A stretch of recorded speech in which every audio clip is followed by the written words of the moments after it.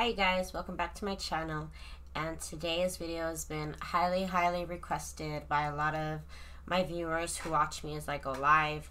Um, and sometimes I'll mention something about my my microphone or my camera or the light I just got. And um, so this video is to answer all of those questions.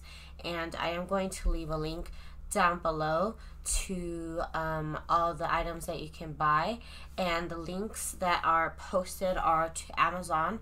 And I do get a small commission off of the purchases that you make um, on those links. At no extra cost to you and it does really support my channel. So I do appreciate if it is the best deal that you can find online if you do use those links. Um, but I wanted to talk about my setup because I finally kind of got it the way I really, really like.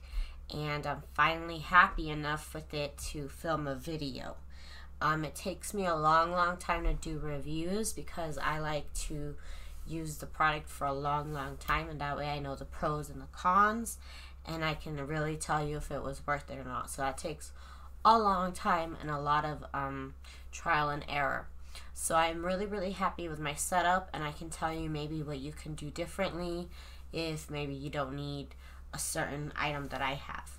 Now this setup is perfect for me because uh, the table that I have, where it is in my room, the space off to the side, off to each side is really important. Um, maybe the setup doesn't work for you, but maybe um, the camera does or maybe the microphone does. So just so you get some ideas. Um, and also, um, I've taken all these recommendations from other YouTubers. So I, whenever I research something, obviously on how to go live on YouTube, I always look up things on YouTube. So I'll look up things like the best webcam, um, the best light, the best uh, budget, the best microphone on a budget, videos on YouTube, and there's a lot of people that do videos like that, and I just they're so awesome and I'm so thankful that they do that so that I don't have to go through too many trial and errors and they kind of give you like a perspective on what could work for you or not.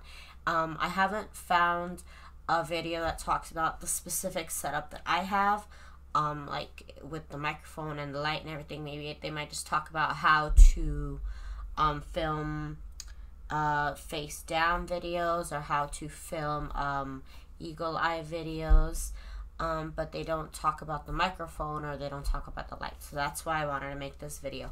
And of course, I can tell you right now that you can put in all this effort and all this investment into your videos, but what really actually matters uh, to the bottom line is content. So you can have the best camera and the best light and the best microphone and somebody's dark video that they filmed with their phone with one hand might get 20,000 views compared to yours. And that just comes down to content, what people want to see. And sometimes it doesn't matter if it's a grainy video with low light. Um, they'll still watch it over and over because the content is great. So don't put so much pressure on yourself that you have to have all this equipment. I'm just like a really big tech junkie and I really like to have a lot of gadgets and it's sometimes it's really unnecessary, but for me and like I said my setup and my it's perfect. Maybe you have a very bright window in front of your workspace and you can film during the day and you don't need this light. But I have no light in my room as you can see behind me. It's all dark because all my lighting is right here because that's just what works for me. So just things like that to keep in mind, you guys. Totally, I can tell you right now that my setup is probably unnecessary, but like I said, because I just like to do the most and I really want to invest in my channel. This is a setup that I have come up with with the budget that I have. You can go off and definitely buy a better webcam and maybe everything else you could buy it top notch. But for me and my budget, this and my space, this works for me. So if this doesn't work for you, if you don't think um, this specific layout is going to work for you, I suggest that you look up videos on YouTube such as how to film uh, face down videos, how to film overhead videos, and you can see other people's videos. They have different setups. They have a they might have different tripods, and that might work better for you and your space. So thank you guys so much for joining me for this video. Again, uh, my affiliate links are down below. It really does support my channel, so thank you guys so much. And I'll see you guys when I go live Monday through Friday, 9 p.m. Pacific Standard Time.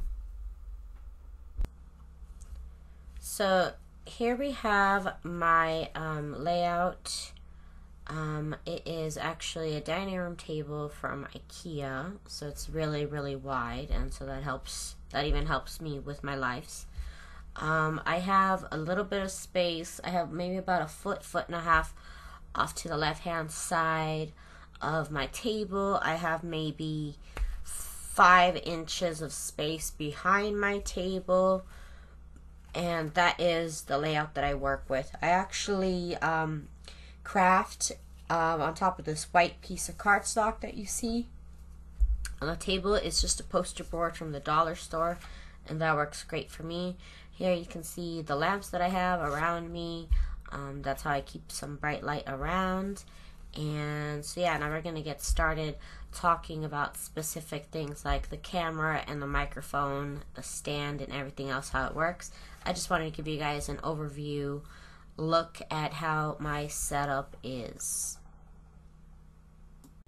So first up we have the camera that I use and I use this web camera. It is the Logitech HD Pro C920 and this is a great web camera. Um, it only it shoots in 1080p and it also has this part at the bottom which is very important that means it can mount onto tripods and not just be have to be used attached to your, your computer. So this is a great option for again my layout where I can hook this up to the tripod that I like to use. It's also very important that um, it's flexible. You can move it around. You can move the camera back and forth. You can put it up a little bit higher or lower it down. Very very flexible on the views that it can get um, so for the price that I got, it was a really good webcam. Um, it shoots at 1080p, so the video is nice and clear. Um, for the price, you really can't beat it. Um, it also has software where you can edit and adjust the settings, and I do suggest that you look into that. And this little gadget is called uh, the video camera recorder adapter, and it is what I use to mount my camera on my stand. I'll show you that next. So I actually use a microphone stand to mount my camera so that I can get that face down overhead angle. Um, it's what works for my, um, again, it's what works for my layout. It's the, the bottom part fits in the space that I have off to my left, and it's just overall been working for me very well. Really quickly, I wanted to show you guys how this attachment worked. Um, it basically fits at the end of the microphone stand, and it is a really, really um, customizable to the angle of your camera and what way you want to face. I also record my videos where I uh, record face my face with this camera also, so it works for totally uh, a whole range of angles. Also very quickly, I wanted to show how um, awesome this microphone stand is for these videos. Um, I like to attach the cord of my webcam with tape, um, but it's really great. You can lower it down, you can raise it up high, um, again, depending on what you want to film. Um, the angles are great, the camera moves around, um, you can film midway. Sometimes I'm filming something really small and I need it to be down lower so that way you can see it bigger on the screen. And sometimes I want to show my whole tabletop and I want to put the video up high and that's why this microphone stand is so great. Okay, and now we're on to my microphone. And the microphone that I chose to uh, use for my setup is the Blue Snowball Ice Condenser microphone. And so far, I have found this microphone to be awesome. The sound that I get from it is very clear. All my live videos are very clear, loud, no problems with sound whatsoever. I think this microphone is a little bit cheaper if you get it in silver, but uh, I'm spoiled and so I bought it in black. Um, but again, this microphone is awesome and it really does work for me. I do suggest you come, you get the stand that I'm about to show you next because I dropped this thing two times and so that's what I recommend. and this is the microphone suspension adjustable arm stand for the blue snowball. Um, this one that I'm leaving linked down below is specific for this microphone. Um, you might be able to find other microphone stands, maybe cheaper. I don't know. This one's pretty cheap. It's about $13 on Amazon. And again, I do recommend it because I have dropped this microphone twice, even with the stand that it originally came in. So again, I do re highly recommend this stand. And now we've come to the latest addition in my setup, which is my Neewer LED photo video light, uh, model PT176S. And this light is awesome. I did check out a lot of other lights at a lot of other price points. And for $25, this was the best deal I could get. So um, the, I went the route with the batteries, uh, not the battery supply, the power supply, where you just plug it into the wall. There's space for you to buy some like professional photo light uh, batteries. However, I'm going to be using this indoors, so I don't need that. So I just plug it straight into the wall. I don't need a battery. Don't need to worry about that. This uh, light is totally dimmable, so you can put it up really bright um, and then you can bring the level down low.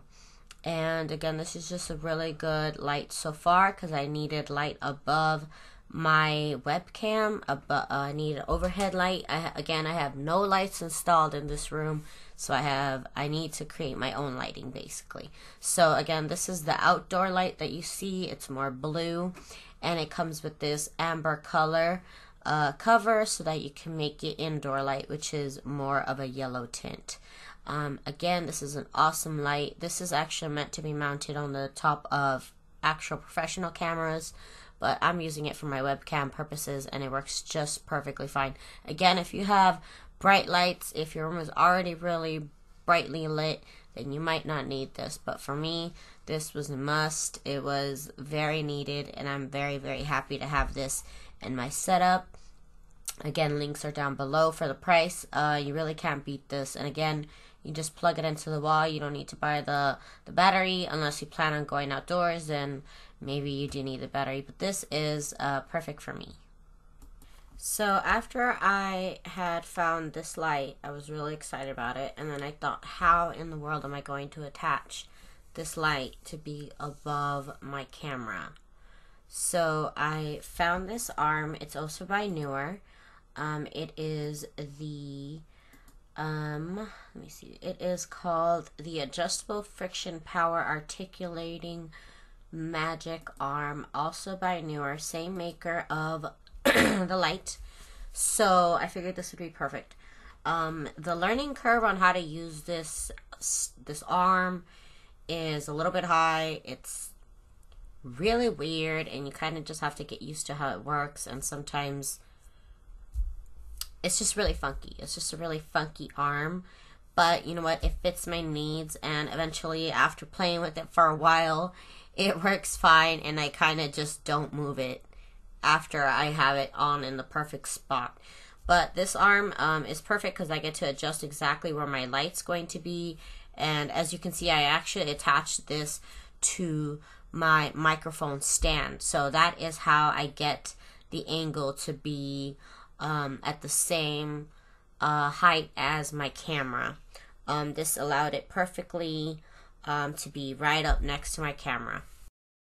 So in conclusion, the setup really, really does work for me very well. I feel like I get good sound, good clarity, good brightness in my videos and that the quality is very very good so that's my setup for 2019 I do hope you guys enjoyed this video um, just really quickly I wanted to show you how I am able to get that good angle that a lot of people do comment on my videos about um, how nicely I can get the angle up close to my sewing machine. This is exactly how I'm able to do it with this camera, this tripod. Um, I'm also able to add a little bit extra light whenever I can. Try and get creative with whatever you have around your house. Um, I try and use this little light when I can, but of course you want your room to be very, very brightly lit um, so that way you get the best quality videos. Again, I want to thank you guys so much for joining me on this video on how I go live and my video equipment. I hope you guys enjoyed it. I hope you guys learned something. Again, my affiliate links are down below. I do appreciate your guys' support, and I'll see you as I go live Monday through Friday, um, 9 p.m. Pacific Standard Time. Thank you guys so much for your time.